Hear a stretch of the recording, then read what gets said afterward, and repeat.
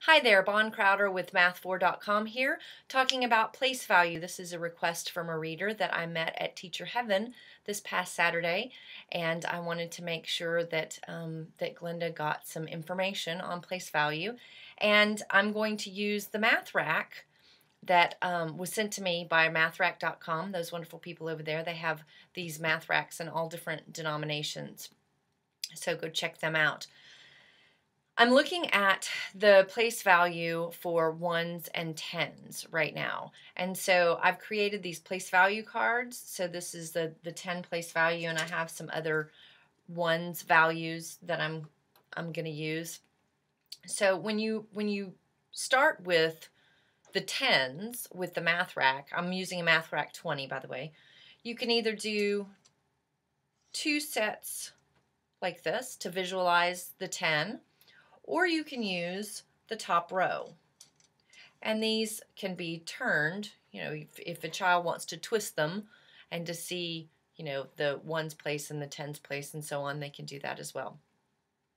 So either way they look at it, if we start here and we say, okay, we want 10 in the uh, one set of 10 and then three singles. They can do that or they can represent it this way.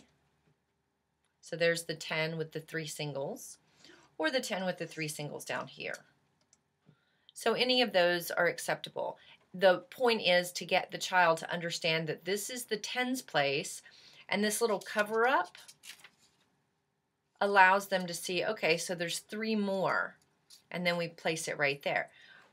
Likewise, if we did seven more, they could use that 10 and then 5 more and 2 for the 7.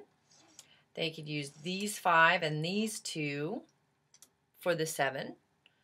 Or if they wanted to do the top, this is where maybe the, using the top for the 10 would be more effective. And then 7 for the bottom. So either way, actually, I just did it and ended up with the same thing, didn't I? so either way, it works. And then you can show that this is the sevens place. That's the sevens piece there.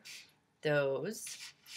And then this is the one set of the reds. So that's a way to encourage and support and um, keep kids sort of up on the ones place and tens place for place value. I also created this 100, which I don't even know if this is fitting. I might be squishing into my face over there. So if you want to do that, then you would need another another math rack, cram that one in here, and um, go crazy with that. Mathrack.com also sells um, the Math Rack 100, so you could actually do lots of different rows, and you can get up to million, couple million if you're doing it that way. So anyway, this is Bon Crowder with MathFour.com talking about place value and reminding you that math is not a four-letter word.